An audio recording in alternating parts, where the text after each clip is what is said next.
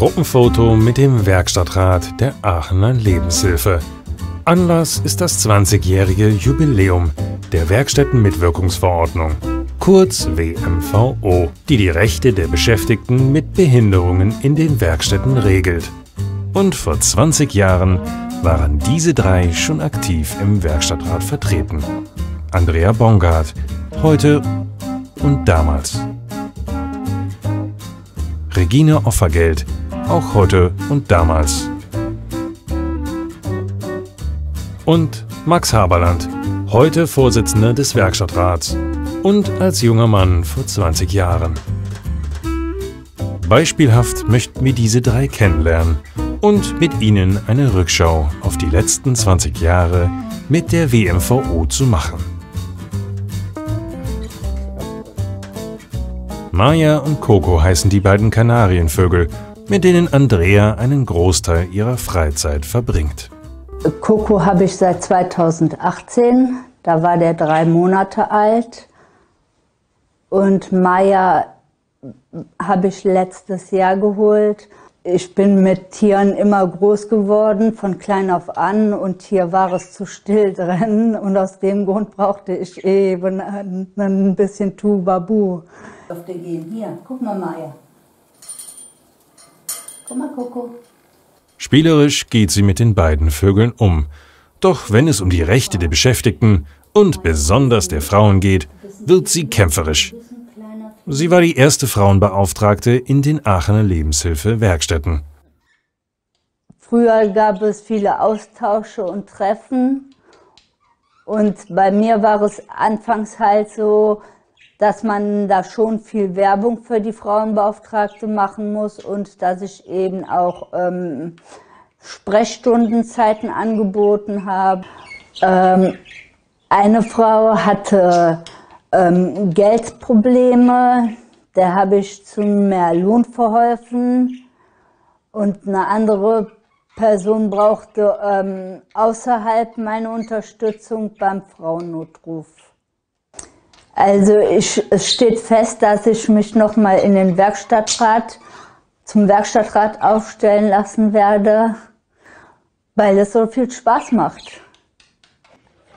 Seit 2017 ist Regine die neue Frauenbeauftragte. Sie arbeitet in der Verpackung der Lebenshilfe. Soweit es ihr Engagement im Werkstattrat und als Frauenbeauftragte zulassen. Du bist ja zu mir gekommen, weil du ein Problem mit einem Gruppenleiter hattest und äh, magst du mir das mal erzählen mit deinen eigenen Worten? Äh, hat mich teilweise ignoriert. Am Ende habe ich dann das gemacht, was, was ich wollte, so ein bisschen. Ja. Äh, Exemplarisch zeigt das Gespräch, dass die Position der Frauenbeauftragten auch nach 20 Jahren immer noch wichtig ist. Seit 2017 ist sie übrigens erst fest in der WMVO verankert. Seit 2017 besuche ich Fortbildungen und habe auch ein eigenes Budget, was auch immer sehr interessant ist, wenn man sich mit anderen Frauenbeauftragten aus anderen Werkstätten austauscht nehme an, an, den, an den Quartalsgesprächen teil, die alle drei Monate sind. Und äh, am, am Gewaltschutzkonzept habe ich mitgearbeitet. Im Aachener Werkstattrat herrscht Frauenpower. Doch Vorsitzender seit jetzt nun 20 Jahren ist Max. Und ohne sein Handy kommt er kaum noch aus. Er ist inzwischen auch überregional aktiv und vertritt die Interessen der Beschäftigten auf der politischen Bühne, zum Beispiel in der Landesarbeitsgemeinschaft der Werkstatträte in NRW. Max arbeitet schon lange mit Gerd Spriewald als Vertrauensperson zusammen. Diese Position ist ebenfalls in der WMVO festgeschrieben. Ohne Menschen wie Gerd, der für Max nun schon seit Jahren fast alles organisiert, wäre eine funktionierende Arbeit in den Werkstatträten kaum möglich. Hier und heute geht es gerade um anstehende Termine.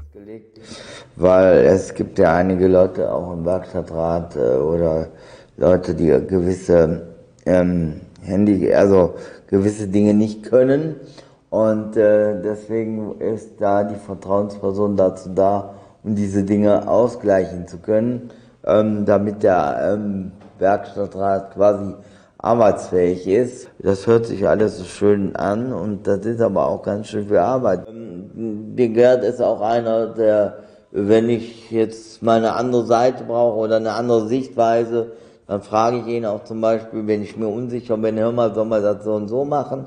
Ähm, er gibt dann einen Ratschlag, aber er gibt nie das Gefühl, dass er das jetzt entscheidet, sondern äh, wenn ich dann doch sage, wir machen es andersrum, dann läuft es. Also äh, wir kommen gut miteinander klar. So die Anfangszeit war ein bisschen schwierig, weil auch Gerd musste sich natürlich in mich rein in dem Sinne äh, finden und ich auch in äh, seine Denkweise so ein bisschen. Äh, ähm, das war ein bisschen holperig, aber das haben wir gut hingekriegt. Ja, die Zusammenarbeit ist gut, denke ich. Äh, wir haben in den ganzen Jahren natürlich gelernt, miteinander umzugehen. Ja, es ist manchmal ein bisschen emotional, aber das liegt dann am Thema, aber das ist kein Problem, das kriegen wir hin. Und ich versuche eben die Dinge zu, zu ersetzen, die er nicht kann, leisten kann. Also dadurch, dass er nicht lesen und schreiben kann, äh, muss er sich die ganzen Dinge im Kopf behalten und das sind viel bei seinen vielen Positionen, die er hat. Er ist so ein Allrounder, er kann eigentlich alles, ähm, ist so ein Typ Politiker und äh, redet überall mit, ist überall präsent. Ähm, ja, und ich unterstütze ihn da in dieser Richtung in, in, in allen Belangen. Ne? mussten. Äh, Damit die Werkstättenmitwirkungsverordnung in der Praxis auch funktioniert, bedarf es einer aktiven Unterstützung durch die Geschäftsleitung der Werkstatt. Und die ist in Aachen schon seit 20 Jahren vorhanden. Ähm, und dann war es so, dass unsere Werkstatt äh, mit Herrn Zimmermann äh, zusammen haben wir angefangen mit dieser Mitwirkungsverordnung auch das wirklich zu leben. Das heißt, wir haben das nicht nur gesagt, wir äh, wollen äh, äh, mit Bestimmung leben, also auf dem Papier, sondern wir haben das auch umgesetzt. Äh, ich weiß auch, wie schwer sich einige Werkstätten dabei getan haben, eine Mitwirkung zu leben und die in, ihrem, in, äh, ihrer Werkstatt zu implementieren. Aber ähm, wenn man so mal in die gesamte Landschaft reinguckt, war es von Anfang an eine Mitwirkung, die von beiden Seiten, von beiden Partnern auch gelebt wurde. Sowohl von Seiten der Werkstattbeschäftigten, die dazu qualifiziert werden mussten, als auch von Seiten der Werkstattträger, der Verantwortlichen in den Werkstätten, die auch erkannt haben, dass man gemeinsam etwas auf den Weg bringen kann, was äh, nicht ohne die Beschäftigten geht. Durch das Engagement von Menschen wie Andrea, Regine und Max ist in den letzten 20 Jahren viel erreicht worden. Und neue Herausforderungen warten.